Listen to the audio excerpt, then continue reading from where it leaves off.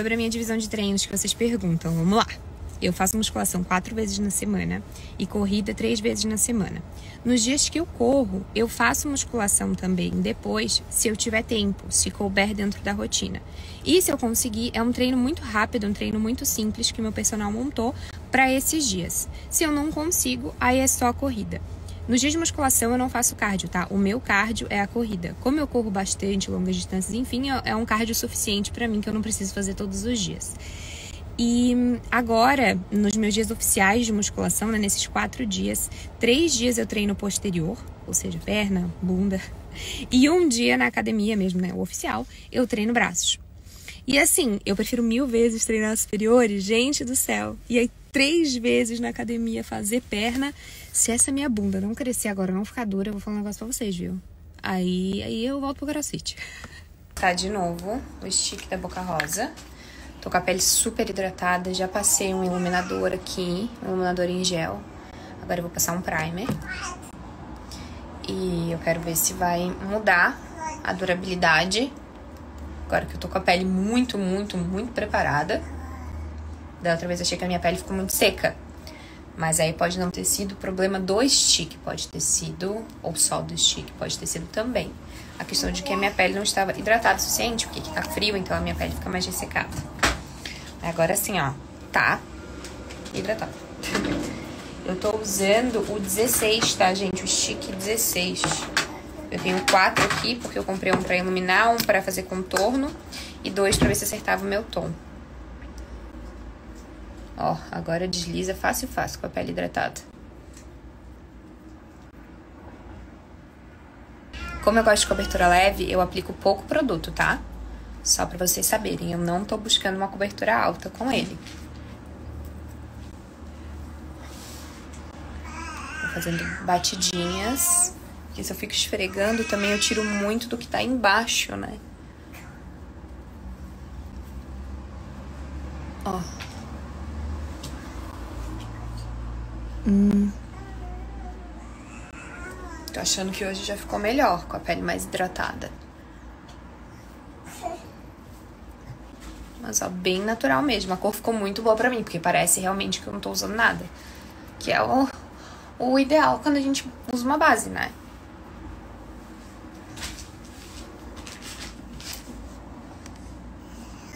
Ficou bonito, né? E eu já sei que o stick pele no como corretivo não funciona pra mim, tá? Dou licença, sim, não. Então eu vou usar meu corretivo de sempre, que é líquido, fininho, que deixa aqui minha, minhas olheiras bonitas, que é o satin da Visela. Essa cor que eu tô usando pra iluminar é a 5. Eu uso o 5, 6 e o 7. O 7 é o mais meu tom, tá? E o 5 e o 6 eu uso pra iluminar. Com a esponjinha. Eu estou brincando de esconde-esconde, meus amores. Ah, nem se compara. Ficou muito mais bonito em mim.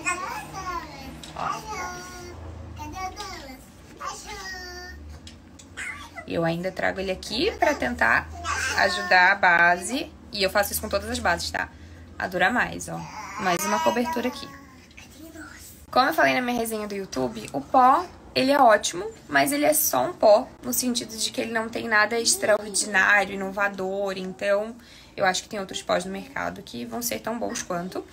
O que eu prefiro usar no meu dia a dia continua sendo o Soft Eye da LF Pro. O pó compacto, ela, ele tem essa coisa da praticidade, porque ele não faz tanta sujeira, enfim. Mas, igual esse aqui, não tem. Pra área dos olhos, ele faz assim, ó. Esse aqui sim, tá? Então, eu gosto muito de aplicar ele com pincel, mas com a esponja, uma esponjinha assim, bem macia, ele fica lindo. Tem uma criança pendurada em mim aqui. Mãe, eu tô limpando. Ah, gente, olha esse efeito. Não tem. Não tem igual. Oi. Maquiagem pronta. Agora, a última coisa. passador. Tá, pra não jogar no Thomas. Fazer assim. É, fixador, tá?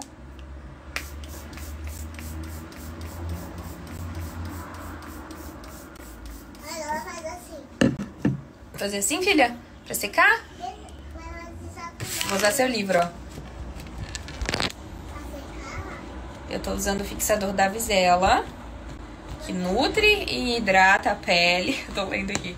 E que faz a maquiagem durar, tá? E é isso, agora vamos ver como é que vai se comportar agora que a pele foi muito bem hidratada, tem primer, tem fixador, que é o que eu uso no dia a dia, né, normalmente.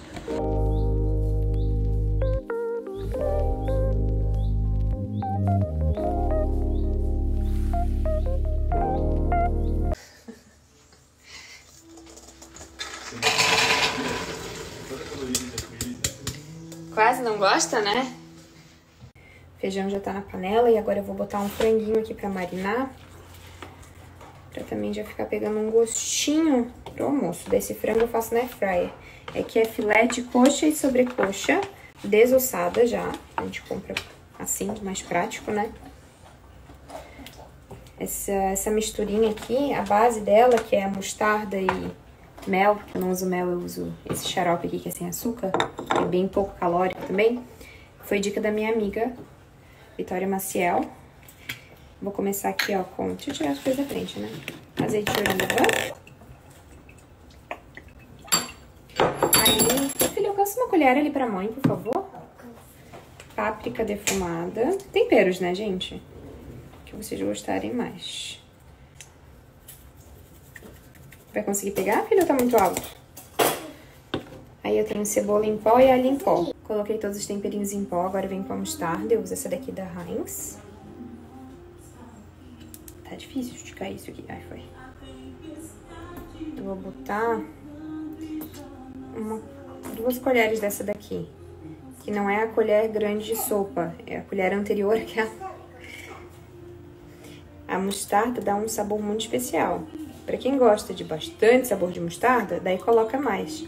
Eu não gosto de mostarda e não gosto muito do sabor da mostarda, mas nessa quantidade que eu boto no frango, não toma conta o sabor, mas ela realça o sabor das coisas, parece, sabe? Fica bem mais gostoso.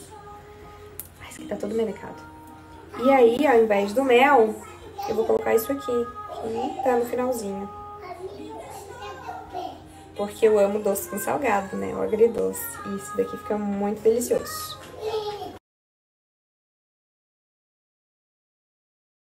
Almocinho hoje ficou muito bom, gente. Né, filho? O feijão ficou uma delícia, eu fiz um arrozinho. O frango, depois que eu deixei marinando, eu coloquei na air fryer. E aí o esquema é tu ir vendo o tempo que o frango vai ficar do jeito que tu gosta. Porque cada frango vai ter mais ou menos gordura, vai ser um pedaço maior ou menor. Então o tempo ele vai pode variar, né? Eu gosto de deixar numa temperatura um pouco mais baixa, porque senão a gente na temperatura super alta vai ficar crocante por fora, mas não vai cozinhar por dentro, né? Não vai assar por dentro. Então eu deixei acho que 180 graus. No total ele deve ter ficado uns 30 minutos entre que daí eu viro, né? Deixo uma parte de um lado, outra parte do outro para poder ficar crocante a pelezinha dos dois lados. Ai, que desespero. E ficou muito bom. Aí fiz os legumes no forno ontem de noite, né? E um brócolis. E foi isso, né, filho? Olha aí, gente, a base. Eu quero mostrar pra vocês como tá sendo hoje. Com a pele super hidratada, primer, iluminador por baixo. Olha, a pele tá até mais brilhosa, né? Não tá oleosa, tá? Tá seca. Só que ela tá com viço. Ó. Aí, durando bem mais o nariz.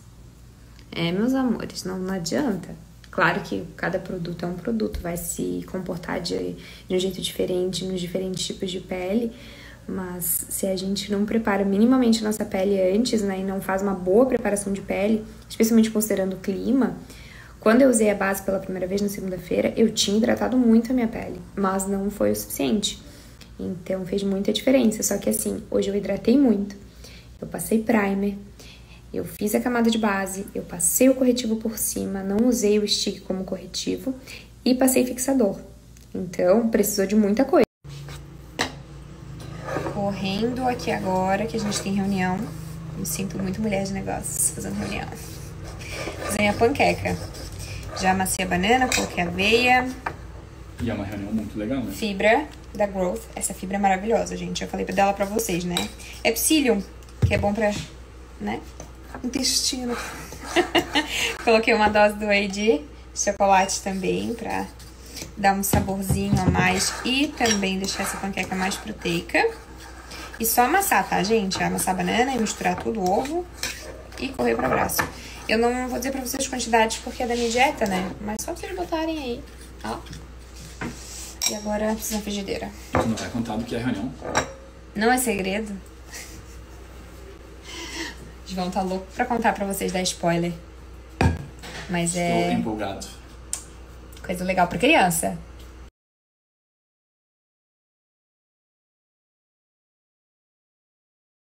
Terminei a reunião, já vim correndo fazer o jantar.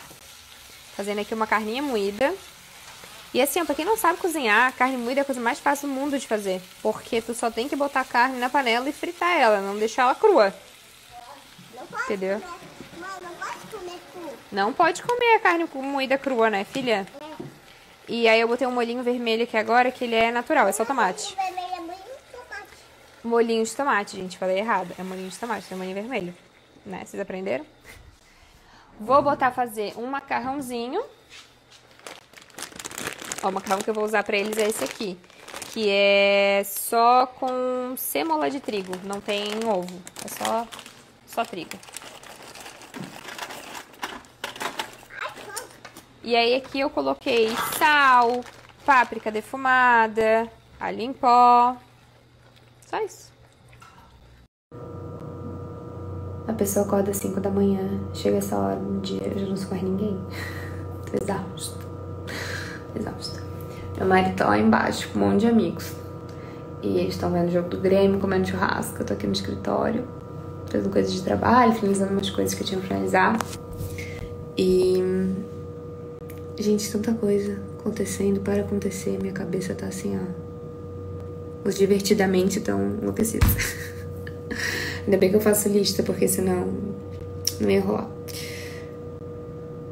É que senão não funciona a minha cabeça, né, gente? Eu preciso da listinha ali, senão eu esqueço tudo, eu não sei por onde começar. E eu, as minhas listas, não sou ninguém. Quem vê todos os stories não perde nenhum, talvez lembre que faz o que? Umas duas semanas? Eu. Não sei quanto tempo faz, gente, mas faz aí um tempinho. Eu postei sobre um projeto que eu tô fazendo para ajudar vocês com questão de rotina, disciplina, como montar uma rotina, etc. E aí eu tava tentando entender qual é o melhor formato para entregar isso para vocês, né? E aí hoje eu decidi fazer um investimento numa mentoria para eu aprender a fazer uma mentoria, a desenvolver esse projeto para vocês num formato de mentoria, que eu acho que pode ser muito mais legal do que um curso, um curso normal, sabe? Um curso que tem as aulas gravadas e tal. Aí comprei e vou começar. E aí vai ser um processo, acho que daqui uns dois, três meses vamos ter uma coisa nova aí. E eu vou poder ajudar vocês.